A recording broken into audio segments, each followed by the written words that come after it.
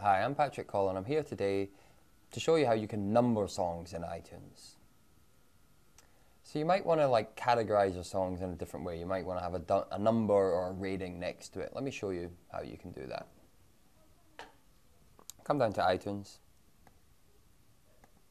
I'll launch it. I'm going to go to my library.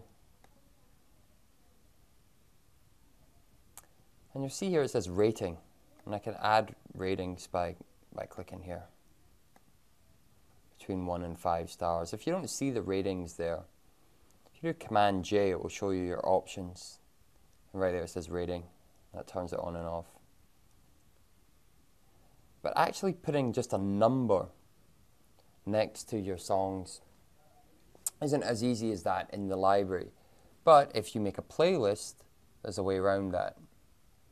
So if I just select a bunch of songs here, then I do Command N for new playlist, or do Command Shift N to make a new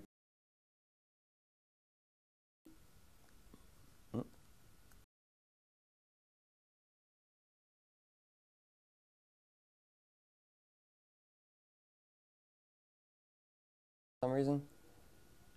And now we see that these are these are numbered. But if I drag them, I can change the number order. And this is how I would put numbers next to my songs, is to create a playlist with the songs that you want to number, and then you can move the songs around in order, and then the number will be next to them that you want. And this is it. I'm Patrick Cole. Hope this has been helpful. Thank you for watching.